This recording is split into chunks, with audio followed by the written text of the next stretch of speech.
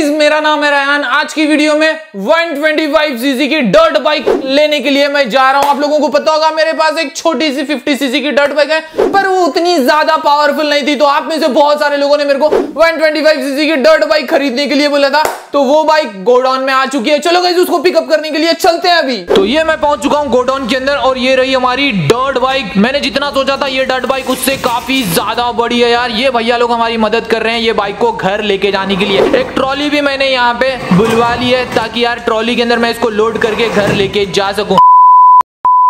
Finally guys देख सकते हो, घर के पास मैं पहुँच चुका हूँ। ये डर्ट बाइक को लेकर मैंने और मेरे भाई ने जैसे तैसे करके यार इसको नीचे उतारा है। भाई, मैंने बिल्कुल भी नहीं सोचा था कि ये बाइक इतनी बड़ी होगी और इतनी ज़्यादा भारी भरकम होगी। देखो, पूरा एक मेटल के केज में इसको पैक किया गया है ताकि ये बाइक बहुत सेफली डिलीवर हो सके। तो अब यहाँ से इसको उतार लेते हैं। ओके बाइक यहाँ पे उतर चुकी है। तो अब ये हमारे गोडाउन का सीन है। इसको मैं घर में भी नहीं लेके जा पा रहा था यार, क्योंकि बाइक सच में भाई बहुत ज़्यादा बड़ी भी थी, काफ़ी भारी भरकम भी थी। तो अब ये जो मेटल का फ्रेम है, इसको खोल लेते हैं फटाफट से, फिर बाइक को जोड़ते हैं। इसके अंदर थोड़ा बहुत असेंबल करने की ज़रूरत पड़ती है, जैसे कि ये मेटल का फ्रेम मैंने हटा लिया है। इनकी पैकिंग से मैं काफ़ी ज़्यादा इंप्रेस हुआ ये बाइक को मैंने एज ऑटो डॉट इन से खरीदा है। लिंक मैंने नीचे डिस्क्रिप्शन में दे दिया है। वहाँ से अगर आप चाहे तो खरीद सकते हो। ये पीछे का सस्पेंशन यहाँ पे जोड़ना पड़ता है। इसको जोड़ना बहुत ज़्यादा ईजी है। और ये सामने का व्हील है। व्हील का साइज़ देखो, काफ़ी ज़्यादा बड़ा है। और इसके ऊपर बटन तो देखो यार, कितने ज़्यादा भयंकर है। अब इसकी हैंडल यहाँ पे मैं फिट करने वाला हूँ।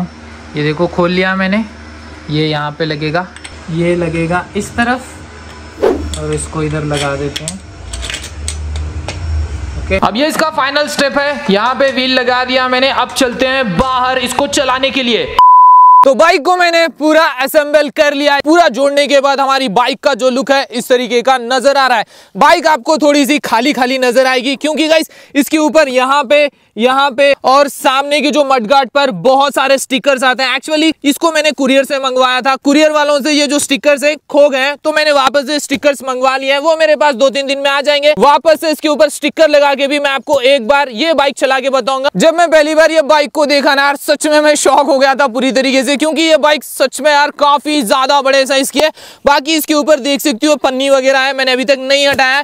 फटाफट से ये पन्नी को हटाते हैं यहाँ से। तो इसके अंदर क्या क्या दिया गया है? इसके साथ हम लोग क्या क्या कर सकते हैं? इसकी टॉप स्पीड कहाँ तक जा सकती है?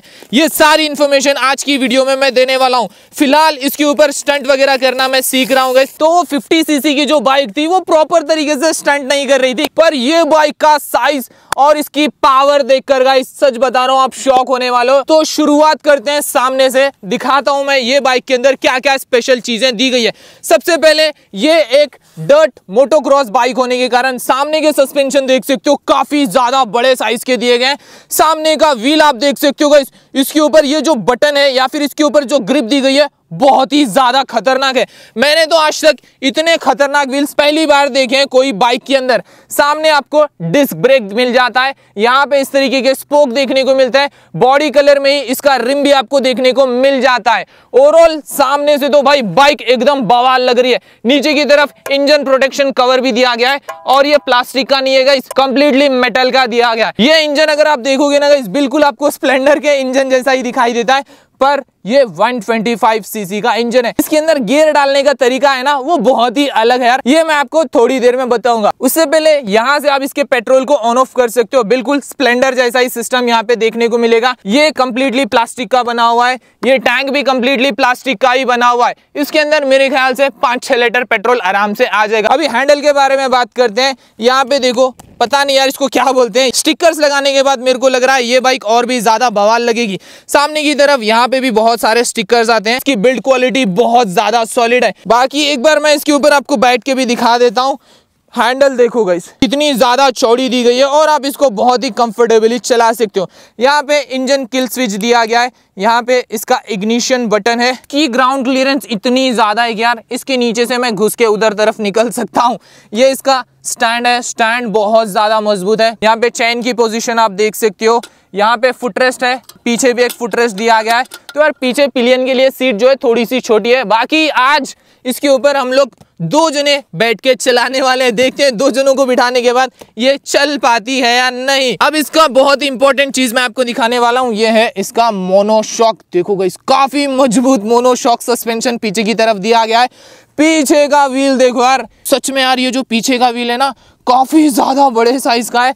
यहाँ पे इसका नंबर आप देख सकते हो 90 बाई हंड्रेड 1449 एम का पीछे का व्हील दिया गया है। व्हील की क्वालिटी बहुत ज़्यादा कमाल की है। इस तरफ़ आप देख लो, यहाँ पे इसके एग्जॉस्ट के ऊपर इस तरीके का कवर भी दिया गया है, ताकि आपके पैर वगैरह जले नहीं। यहाँ पे इसके अंदर किक स्टार्ट भी देखने को मिल जाता है। यहाँ पे इसका ब्रेक है। ब्रेक आप देख सकते हो कम्प्लीटली मेटल का बना हुआ है। यहाँ पे इसका साइलेंसर है। इसको ऑन करने के बाद एक बार इसकी आवाज़ सुनना गाइस आप खुद परेशान हो जाओगे। 125 सीसी के अंदर मैंने इतना ज़्यादा लाउड एग्जॉस्ट कोई भी बाइक के अंदर नहीं देखा है। ये इसकी इग्निशन की है। दो की मिलते हैं इसके साथ। यहाँ पे लगाना पड़ता है की अब ये ऑन हो चुकी है। तो चलो एक बार इसको स्टार्ट करके भी मैं आपको बताऊँगा। उससे पहले गाइस इसकी हाइट आप देख लो। बहुत ज़्यादा हाइट है ये बाइक की। अगर मैं इसके फुटरेस्ट के ऊपर पैर रखूँगा तो देखो, यहाँ तक मेरे पैर आते हैं। तो इसको स्टार्ट करते हैं गाइस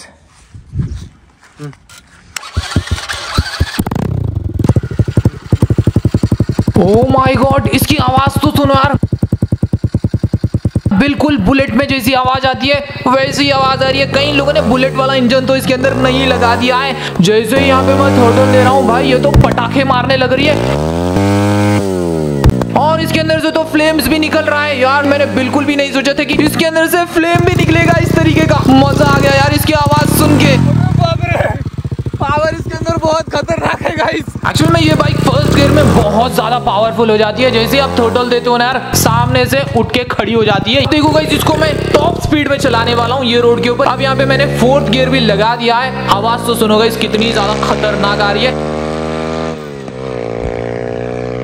मैंने इसको 70 से 80 किलोमीटर पर आवर की स्पीड तक चला के देखा है। ये बाइक को चलाने में बहुत ज़्यादा मज़ा आता है। यहाँ पे तो जस्ट आपको मैं ट्रेलर दिखा रहा हूँ। एक्चुअल में ये बाइक को चलाने का असली मज़ा ऑफ़ रोड में आता है। अब मैं ऑफ़ रोड में पहुँच चुका हूँ। यहाँ पे देखो मिट्टी में चला रहा हूँ। मिट्टी में तो भाई ये एकदम गजब कर देती है। मिट्टी में बहुत स्पीड से चल सकती है। पे लिटरली आप देख सकते हो कितने बड़े बड़े पत्थर पड़े नॉर्मल बाइक तो ये रोड पे बिल्कुल भी चल नहीं सकती है, पर मैंने ये इतनी खतरनाक वाली रोड पे भी इसको 50-60 की स्पीड में चला के देखा है। वो भी बिना अब कराते हैं ये बाइक के साथ बर्नआउट और गाइस ज़ीरो स्किड भी कराने की पूरी कोशिश करूँगा। एक्चुअली मेरे को स्टंट वंट करना आता नहीं है गाइस देखो बाइक के ऊपर से मैं उतर चुका हूँ।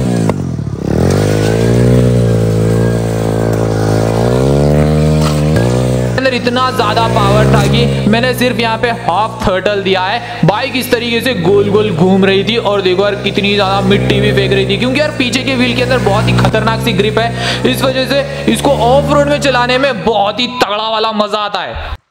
गाइस अब इसको पानी में मैं टेस्ट करने वाला हूँ। यहाँ पे देखो बहुत सारा कीचड़ है। यहाँ पे बहुत सारा पानी है। इनके अंदर चला के देखते हैं क्या हमारी 125 सीसी डर्ट बाइक चल पाएगी या फिर नहीं।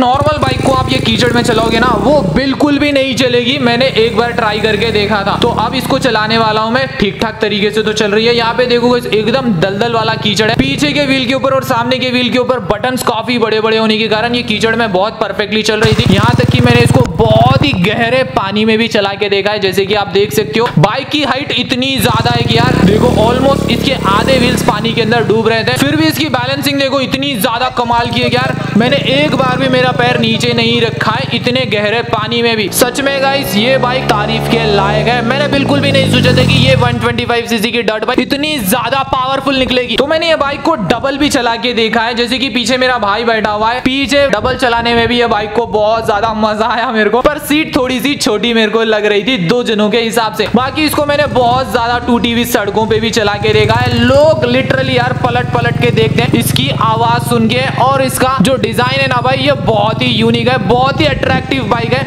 125 सीसी डर्ट बाइक को मैंने काफ़ी भयंकर तरीके से टेस्ट करके देखा है, जैसे कि यहाँ पे इसकी हालत आप देख सकते हो, बहुत ज़्यादा इसको कीचड़ में चलाया, मैंने पत्थरों में चलाया, घास में चलाया गया हर एक जगह इसको बहुत ही खतरनाक तरीके से मैंने टेस्ट करके देख लिया। मेरे को ये बाइक बहुत ही ज़्यादा कमाल की लगी। जितना रोड पे स्पीड भाग सकती है ऑफ़ रोड में भी, उससे भी ज़्यादा स्पीड भाग रही थी यार। वैसे आपको पता होगा, मेरे पास बहुत ही ज़्यादा फास्टेस्ट आरसी कार्स है। तो आप मुझे नीचे कमेंट करके बताओ, ये 125 सीसी डर्ट बाइक के साथ मैं कौन सी बाइक की रेस कराऊं? फटाफट से कमेंट करोगा ये बाइक को मैंने एज ऑटो डॉट इन से खरीदा था। लिंक मैंने नीचे डिस्क्रिप्शन में दे दिया है। उनका इंस्टाग्राम का भी लिंक दे दिया और उनका फ़ोन नंबर भी मैंने नीचे डिस्क्रिप्शन में दे दिया है वहाँ से जाकर आप इनको कॉल करके ये बाइक खरीद सकते हो। एक दो बार मेरे से ये बाइक नीचे भी गिर गई थी। जैसे कि आप देख सकते हो ये बाइक को भाई कुछ नहीं हुआ है। अगर आप स्टंट वगैरह ट्राई करते हो तो यार पूरी तरीके से हेलमेट वगैरह पहन के ही ट्राई करना स्किट कराने के चक्कर में देखो गई इसकी चेन उतर चुकी है चेन को चढ़ाते चलो गई अभी मैं देने वाला हूँ शाउट आउट पहला नाम है श्रेष्ठ करण जकवान ऋषभ कुशविंदर आदित्य हुसैन जगदीश जुनेद कृष्णा। थैंक यू दोस्तों इतने अच्छे कमेंट्स करने के लिए। दोस्तों आपको भी चाहिए शाउट आउट तो इस वीडियो पर कर दीजिए लाइक नीचे कर दीजिए कमेंट बाय बाय दोस्तों।